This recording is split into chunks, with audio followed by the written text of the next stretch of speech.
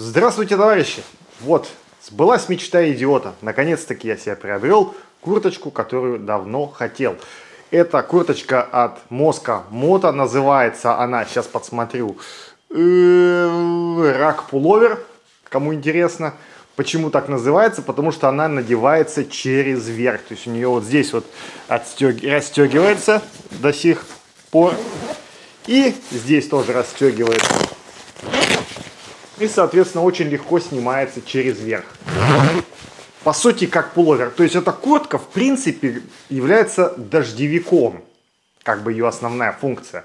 Но я ее буду использовать просто как верхний слой поверх других слоев. Я вот сейчас так, э, буквально мне она пришла, сколько, ну, минут 30-40 назад ее занесли. Вот первые впечатления, первые ощущения хочу вот с вами поделиться. Сорян за сумбур, не готовился, видос спонтанный, ну неважно, ладно, погнали дальше. Так вот, сейчас я сначала поверчусь немножко, покручусь, чтобы вы могли, так сказать, заценить. Что у этой куртки классно? Она легкая, она комфортабельная, то есть она не сковывает никаких движений. В ней есть много карманов, то есть у нее есть боковые карманы. Видите, я даже еще эти замочков не снял, бумажки. Сейчас в процессе снимем. То есть боковые кармашки, то есть можно положить руки или там какие-нибудь рукавички, скажем. Потом есть еще у нее такой вот фигурятник. Это тоже большой карман. Сюда тоже можно что-то положить. Допустим, какой-нибудь баф или что-то такое. Провода какие-нибудь можно кинуть там от камеры или от зарядника. Ну, в общем, надо подумать, что туда можно положить. Потом здесь есть карман, где у меня сейчас очень удачно прикреплен микрофон. То есть открывается левой рукой, но засовывается туда правая рука. Сделано интересно, продумано. Дальше. Ну и все, в принципе, по карманам, по карманам больше сказать нечего. Рукава у них довольно-таки интересные, то есть их можно вот так вот плотно прям обернуть на липучке и закрыть. То есть на первый взгляд, когда я заказывал, кстати, ребята, если будете брать, сомневаться с, с размерами, я замерил себя по таблицам, у меня как раз такое пограничное состояние между размером М и L. Ну, я взял на вырост, потому что я такой э, толстый дрищ. То есть внутри я дрищ, а иногда бываю покрупнее. Поэтому мне лучше немножко в сторону на вырост. Поэтому, когда она мне пришла, когда первый раз ее одел, и вот эти рукава, да, не на липучках, то она мне показалась как бы вот немножко большая. Да? Но когда мы затягиваем рукава, в принципе, и становится все отлично. Сейчас у меня под курткой, ну я пробую, тут тестирую всякие разные комбинации.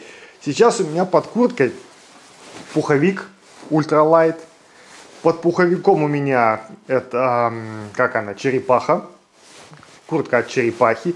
И под курткой от черепахи еще просто обычная футболка. Ну, также можно под черепаху одеть любую э, термуху из того же Мериноса. В принципе, все вот сейчас то, то, что на мне очень легкое, комфортное, ничего не сковывает движение. И я под это дело еще потом мозга закажу тоже еще одну курточку. Она так, не помню как называется, но она такая летняя. А, как бы вот слой под это, она идеально подойдет. Она как такая полупиджак, полукуртка, как бы на вид что-то между среднее. Поэтому как вот как еще одним слоем будет отлично сидеть. Я решил перейти на многослойность, потому что до этого я ездил в руки, а рука это такой туринговый экип. Он с защитой уже со встроенной, он такой, ну, тяжеловатый, да. Чисто если турить, на длинные расстояния, то в принципе нормально. Но мы-то хотим немножечко не просто турить, а немножечко эндурить, поэтому свобода движения, легкость и комфорт это наше все. Что касается по ценам, куртка не дешевая. Кому надо, сами загуглите цену, говорить не буду, дабы не провоцировать зависть. В общем, ладно. Стоит она недешево. Так что вот такие вот, в принципе, дела. Просто хочу поделиться с вами радостью. И потом, конечно, покатаюсь. Еще, может, расскажу, что про нее. Кстати, забыл сказать, что это куртка является стопроцентно водонепроницаемой. А еще такой важный, очень интересный момент. Сейчас, секундочку, смотаюсь за шлемом. Вот, я вернулся со своим шлемом. Здесь есть капюшон, который тоже можно одеть. Прикольно, да? Но, смотрите, на этот капюшон можно одеть прям непосредственно шлем. Вот я одел шлем, и у меня вот здесь все закрыто. То есть сюда задувать ничего не будет. Сюда не будет попадать вода, если будешь ехать в лютый дождь.